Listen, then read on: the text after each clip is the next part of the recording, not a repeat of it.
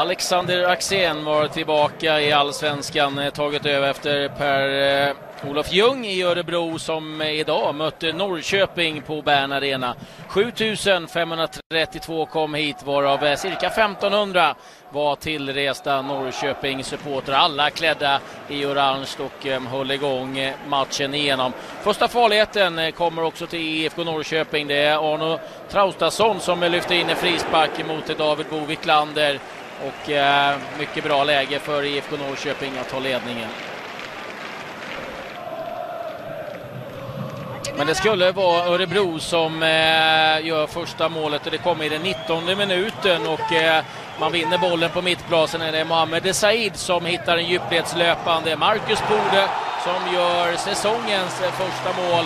Fick chansen från start under Alexander Axén. Eh, Spetri Masani fick börja den här matchen på bänken och eh, det var tydligt och det var också direktiven ifrån Örebro att man ville gå lite rakare mot mål än man var gjort tidigare och eh, det här var väl ett typexempel på vad Alexander Axén ville se i den här matchen.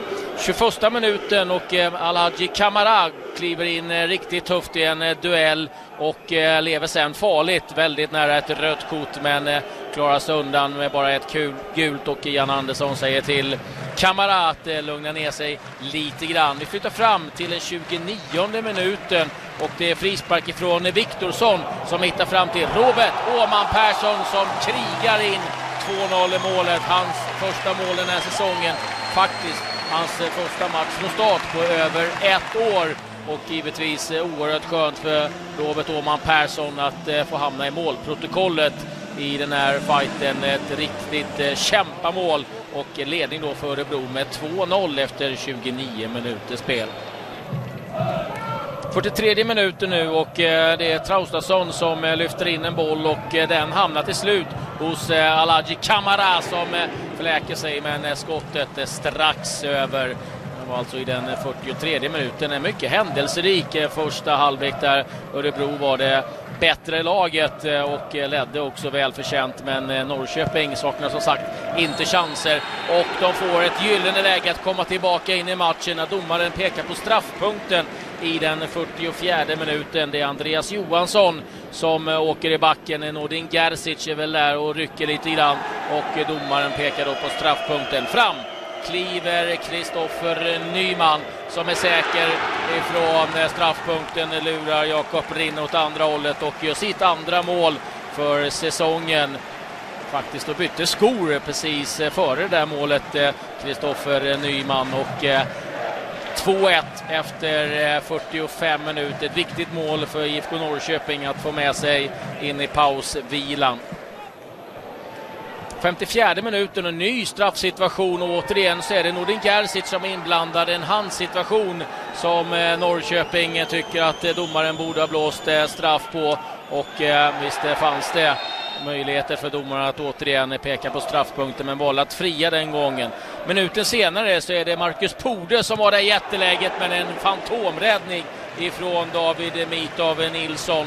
Jätteläge för Örebro att göra 3-1 men eh, mycket fint målvaktsspel. Bra gjort också av eh, Yasin eh, med förarbetet till Marcus eh, Pode. Ja, vi var inne på Alaji Kamara och han kliver in i handlingarna i den 72 minuten. Telo med inlägget och Kamara med avslutet. En distinkt nick rätt upp i nättaket och han noterar så sitt femte mål den här säsongen. Mycket fint gjort av Kristoffer Telo. Vi har 2-2 på Bern Arena efter 72 minuter spel.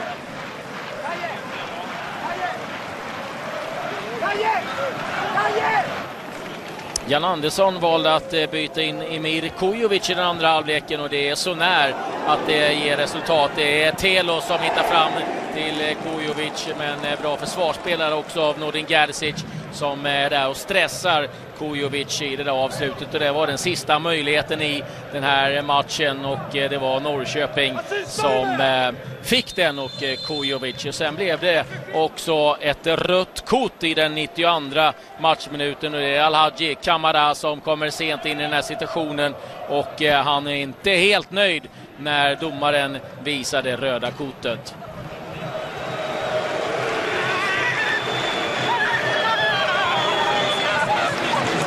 Ja, en lite märklig avslutning på en ganska märklig tillställning som eh, svänger fram och tillbaka och den eh, slutar 2-2. Örebro nu 14 poäng och Norrköping 16 poäng.